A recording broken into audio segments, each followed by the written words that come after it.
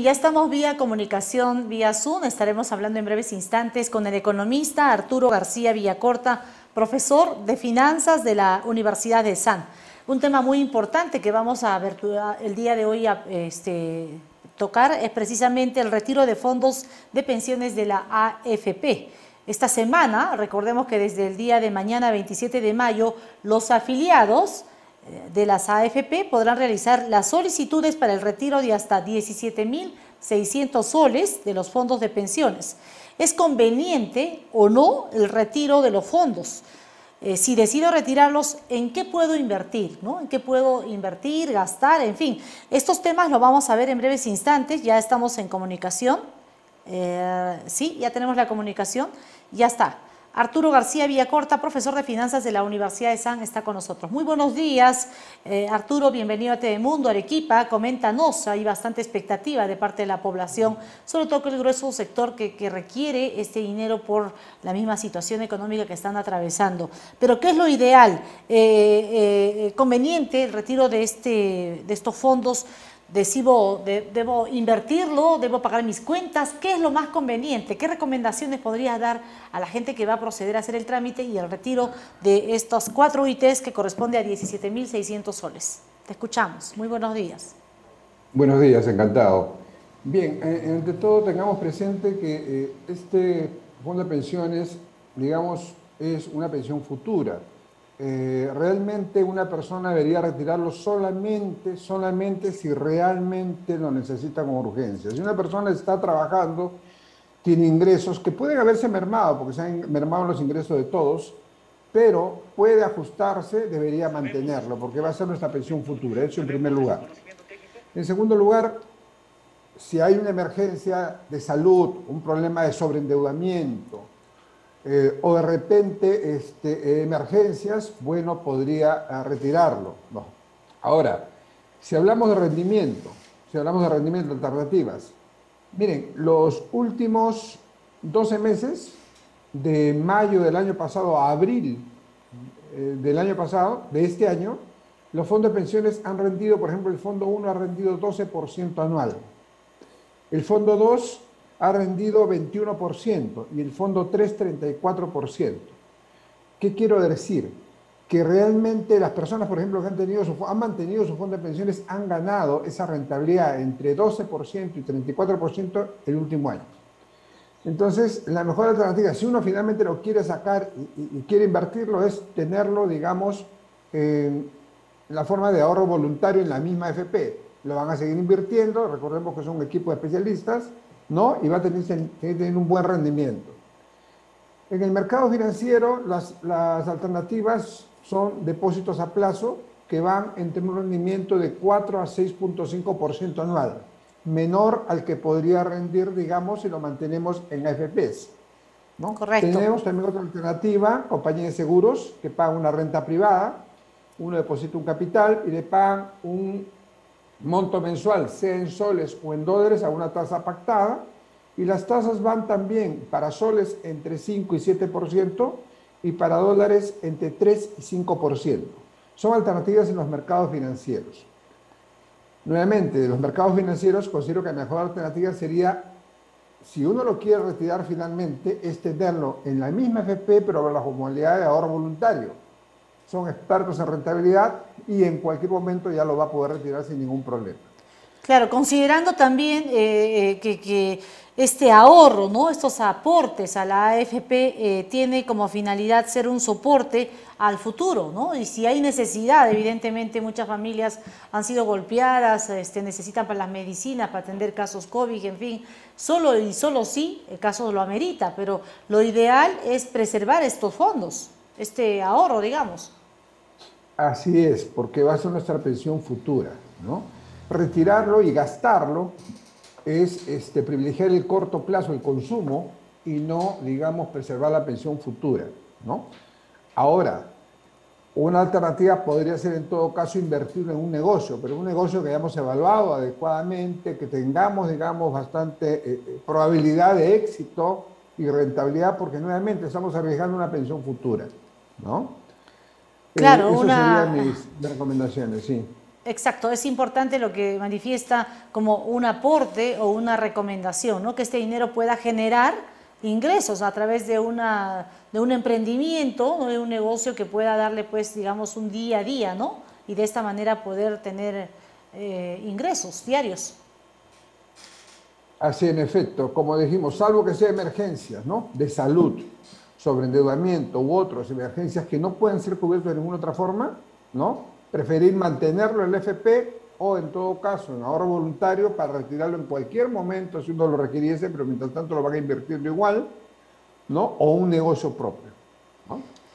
Bien, ahora dentro del procedimiento operativo eh, para el retiro facultativo de los fondos de la AFP, este, todos los casos no son iguales, ¿no? Pero a ver si por favor nos explica un poquito, porque a partir de mañana se tienen que hacer las solicitudes para el retiro eh, de las personas. Muchas han dejado de aportar, ¿no? Que pueden retirar hasta el 100% de su fondo de AFP. Pero en el caso de aquellas personas que todavía están en planilla, mantienen un trabajo, eh, pueden retirar hasta una unidad impositiva tributaria, hasta en tres partes. Si nos podría precisar, por favor.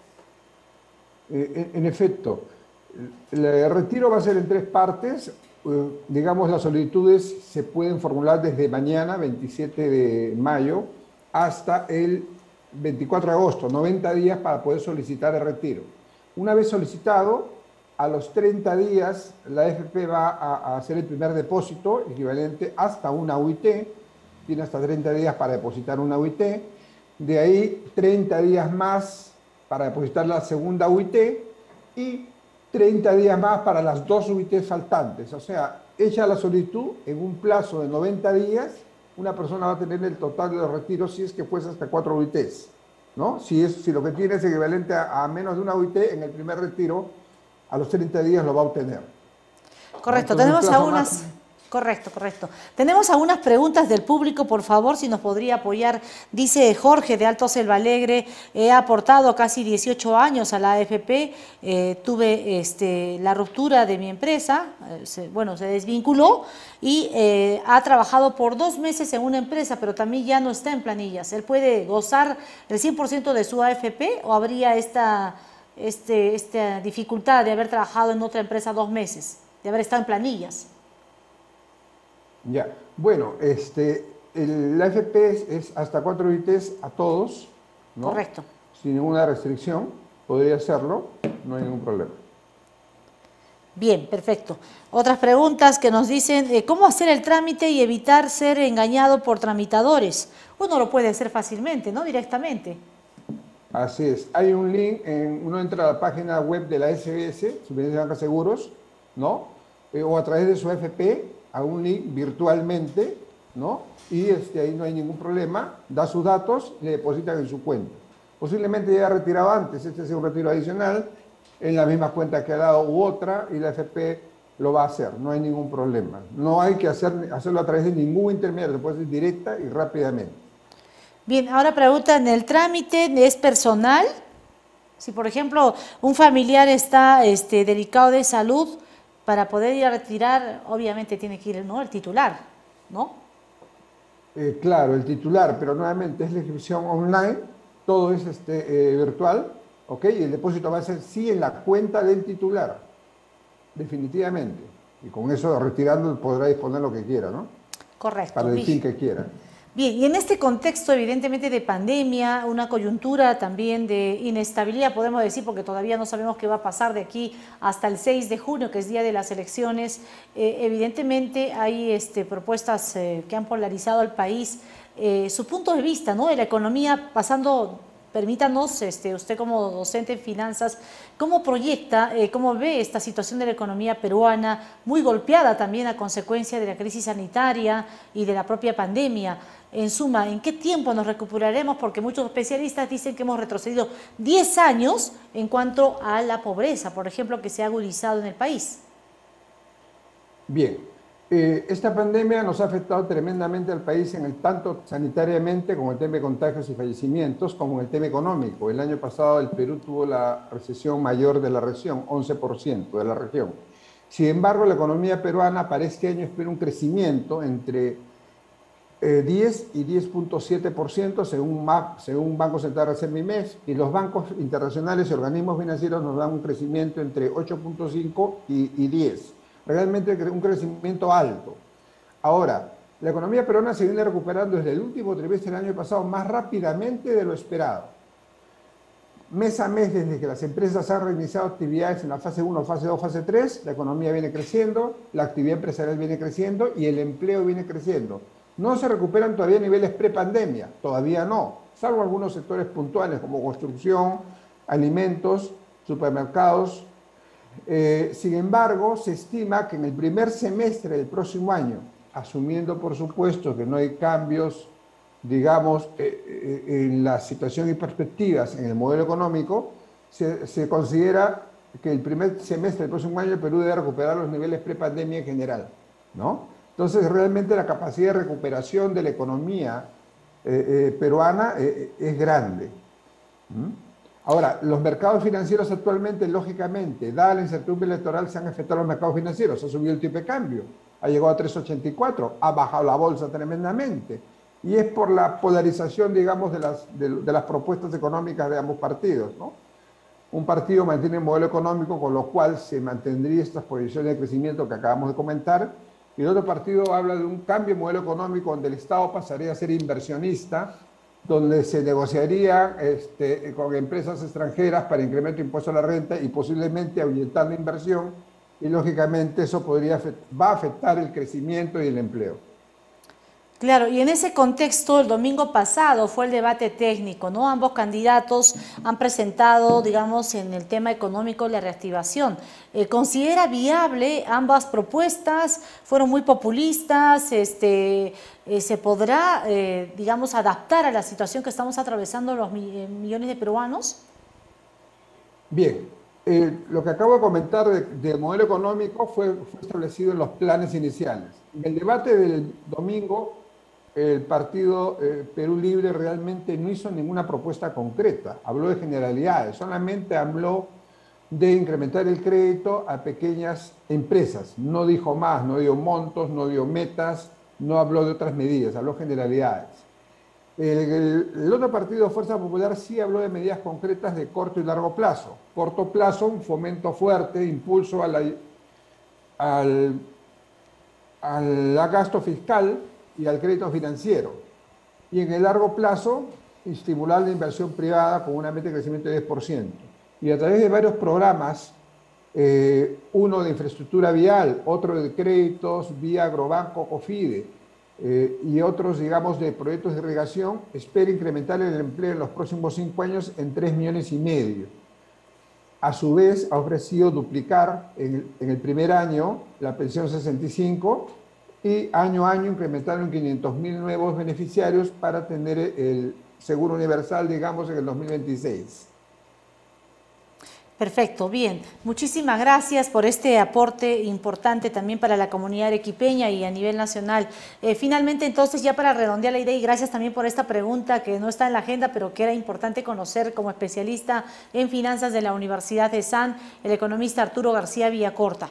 Entonces, en conclusión, desde mañana la gente puede ir a hacer sus trámites para poder retirar su fondo de AFP y la recomendación final que piense eh, dos veces antes de gastar por gastar, porque es importante que ese dinero, que es un ahorro de muchos años, pues ya no va a volver a recuperarlo. ¿no? Eh, tendrá que pensar en reinvertir, en ver que, genere ingresos o de repente en continuarlo ahorrando, ¿no? que serían quizás algunas recomendaciones prácticas. Así es, tengamos presente una cosa. El próximo gobierno, entre el gobierno que entre, va a hacer una reforma integral del sistema de pensiones. Por lo tanto, dentro de ese eh, eh, eh, tema está el objetivo de garantizar una pensión mínima, ¿no? de que la pensión pueda abarcar al mayor número de trabajadores y si una persona retira todo su fondo de pensiones, por ejemplo, a la fecha hay dos millones de personas que han retirado y han dejado en cero el saldo de pensiones. Y con este nuevo retiro se estima que llegue a 5.400.000 personas, de 7.800.000 que hay. Entonces, no van a tener un saldo en su fondo de pensiones y no se verían beneficiados si es que en una reforma integral de pensiones el, eh, eh, se aprueba una pensión mínima, ¿no? Y se facilita, flexibiliza las condiciones para que lleguen a una pensión. Entonces, no solo renunciar a una pensión, es renunciar realmente a una pensión futura. ¿No? Entonces realmente pensarlo, yo no diría dos veces, sino 20 veces antes de hacerlo, eh, eh, y lo ideal, pues en la medida que uno no, no, lo necesite o así tenga que seguir ajustándose, mantenerlo eh, en su fondo de pensiones. Perfecto, muchísimas gracias. Muchas gracias. encantado. Igual manera, el economista Arturo García Villacorta, profesor de finanzas de la Universidad de San, hemos hablado de un tema importante, retiro de fondos de pensiones de las AFP.